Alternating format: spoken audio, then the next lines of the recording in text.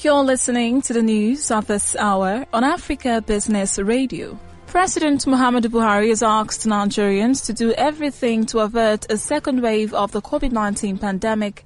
Buhari, in a statement issued on Wednesday by the senior special assistant to the president on media and publicity, Garba Shehu, said Nigeria's economy is too fragile to bear another round of lockdown. The president noted that the country has so far managed the problem successfully by keeping the numbers as low as possible while advising all citizens to continue to observe the COVID-19 protocols of social distancing, wearing of face masks and washing of hands.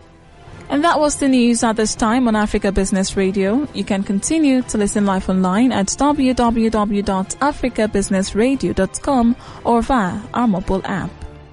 I am Rachel Chijundu. Thank you for listening.